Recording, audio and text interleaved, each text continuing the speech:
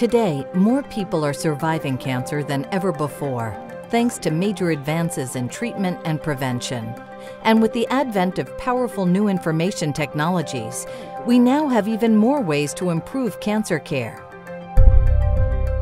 One of the key ways we can do that is through CancerLinQ, a health information technology system developed by the doctors at the American Society of Clinical Oncology and guided by a patient advisory committee. CancerLinQ is designed to help doctors deliver state-of-the-art cancer care to patients like you. CancerLinQ is a great resource for patients, and I believe every patient has the right to state-of-the-art care. They can find, through their doctor, a treatment that's going to benefit them. And at the same time, their information will help others.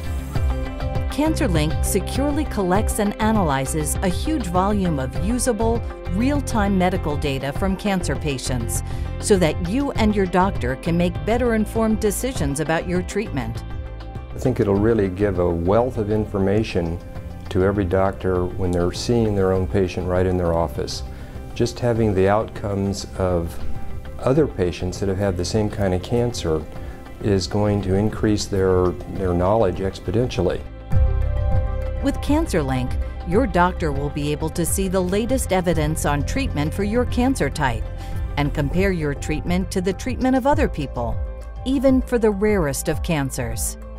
I'm a almost 26 year survivor of breast cancer. However, six and a half years ago, I became a metastatic breast cancer patient where it had moved to another part of my body. If CancerLinQ had been available to my oncologist then, she could have found patients like me that had intramuscular tumors to see how they were treated and how they responded to treatment. CancerLinQ also enables your doctor to use your medical record more effectively to monitor your care and to coordinate with other members of your medical team. And your doctor will be able to find out if there are additional ways to improve your care, like avoiding harmful interactions between your medications and avoiding tests or treatments that you don't need. I think that CancerLinQ is going to be an awesome improvement in the way doctors currently treat cancer patients. I think that because it is current, they will have the capability of looking up what other patients are being treated with and how they're being treated and what their reactions are. I think that that will lead to improved cancer care, cancer prevention, and cancer treatment.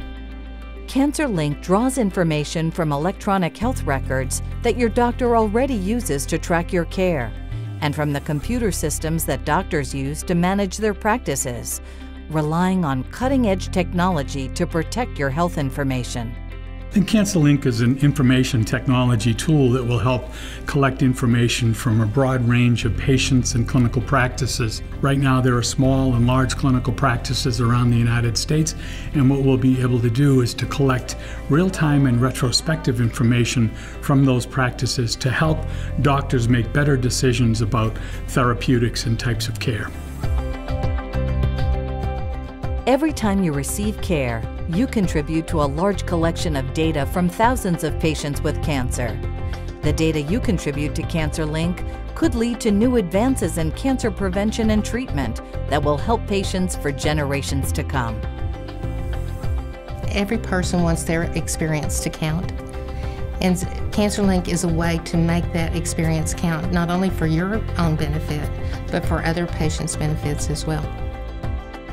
Visit cancerlinq.org or talk to your doctor for more information.